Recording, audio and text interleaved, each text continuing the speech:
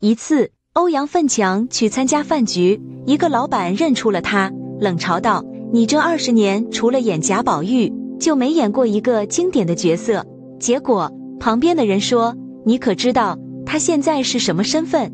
大老板一听，立刻认怂，低头哈腰道歉。一九八七年，导演王扶林接到筹拍经典的任务，为了尽可能还原角色，在挑选演员时，王扶林可谓大费周章。先是通过层层海选，一千多个演员，然后又有选角导演从全国各地筛选演员，饰演林黛玉、薛宝钗、晴雯等演员的人选率先确定下来。可是，唯独饰演贾宝玉的演员一直找不到合适的人选。耽误了拍摄的进度。贾宝玉是个美男子，这世间少有。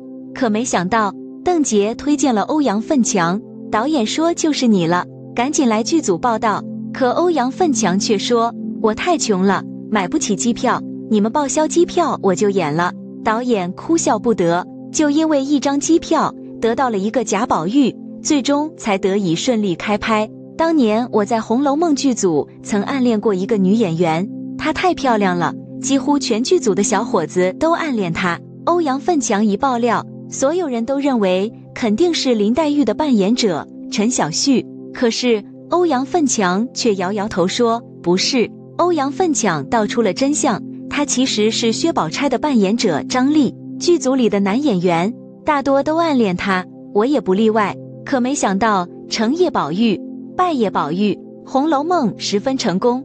陈小旭。欧阳奋强一夜之间全部都大红大紫，成为了当年的一线偶像，可以说改变了自己的命运。但事业的成功却忽视了家庭，在妻子怀孕期间没能很好的照顾，导致第一个儿子早产，然后夭折，也是让欧阳奋强很是懊悔。但值得庆幸的是，后来又生了一个女儿，如今二十岁女儿欧阳文殊已经亭亭玉立。女儿继承了父亲的颜值，一双大长腿，在中央戏剧学院读书，也是成为了演员。可是欧阳奋强后来却消失了，作为演员，他就再也没有超越过贾宝玉的角色了，人也不红了。而陈小旭也去世了。对此，欧阳奋强并没有暗自神伤，甚至在酒桌上，还有一个大老板可意羞辱了一下，老板瞅了他一眼，冷嘲道。你这二十年除了演贾宝玉，就没有一个像样的角色。面对这位老板的嘲讽，欧阳奋强淡淡一笑，只说了四个字：“我改行了。”老板以为他混不下去，就改行了。刚想接着嘲讽，旁人看不下去，倒是为欧阳奋强抱不平：“你可知道他现在是什么身份？”大老板却十分好奇，是不是做商人了？可是旁边的人说。人家现在是赫赫有名的大导演，你不知道吧？他导演的作品拿了很多国家影视工程的大奖。老板一听，人家都导演了差不多五十部作品，就立刻怂了。因为这一次邀请欧阳奋强来，就是谈合作的，行不行？全靠导演一句话。无奈之下，大老板制片人只能一饮而尽，赔礼道歉。虽然仅仅是个插曲，但也看得出欧阳奋强的一生。真的很成功了，演而优则导，这句话一点都没错啊。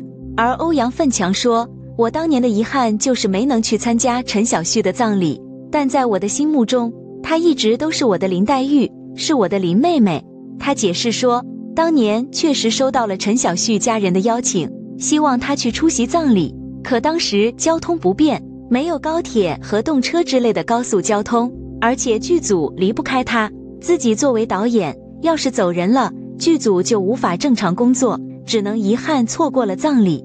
但后来每一年他都会发文纪念陈小旭。后来李少红又找杨洋出演了贾宝玉，还有李沁、于晓彤等等流量出演二零一零版新《红楼梦》。二零一零年投资一点五亿的新版《红楼梦》一上映，就遭到了各方的吐槽。有记者问导演李少红：“新《红楼梦》是否过于文呢？”